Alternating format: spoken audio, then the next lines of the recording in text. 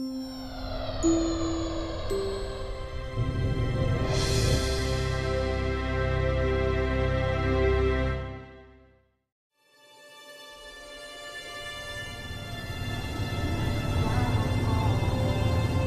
really, what are you writing in there?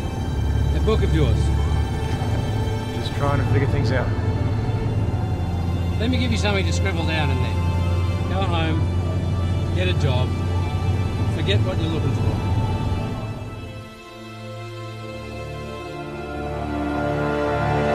What's your name, son? Josh Francis. I'm here about a job. There is no job. And like I said, please leave.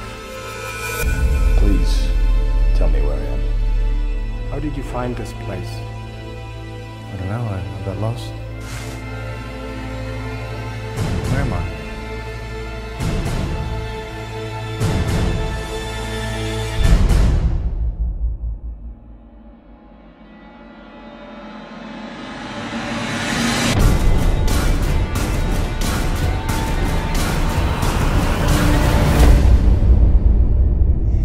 Decisions that really impact your life, the decisions that propel you forward, change your life completely forever, are made in seconds.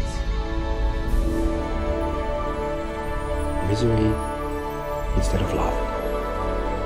It's a choice.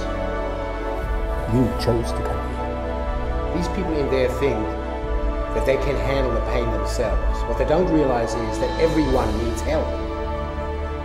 I must be in a dream. Son, you have somehow stumbled into a place you shouldn't be. And here you are. Only question I have is why?